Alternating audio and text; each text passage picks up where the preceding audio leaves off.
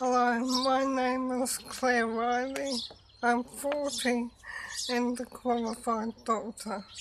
I also have motor neurone disease.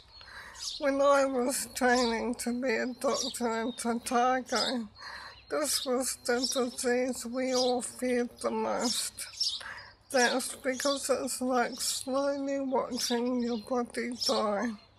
You're still the same person you've always been, but now you're locked in a body that won't listen.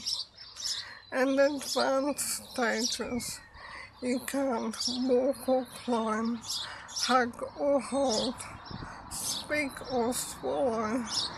Eventually, you can't breathe. This year, about 100 people in New Zealand will die from motor neurone disease, and another hundred will be diagnosed.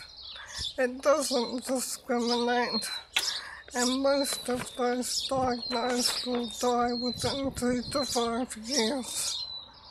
I'm hoping that by tipping a bucket of water on my head, that I can do something about this dreadful illness please donate to the Motor Neurone Disease Association.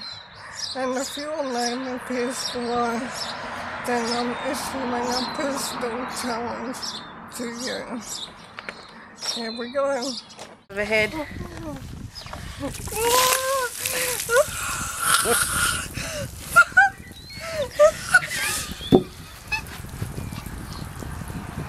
Emma? Emma?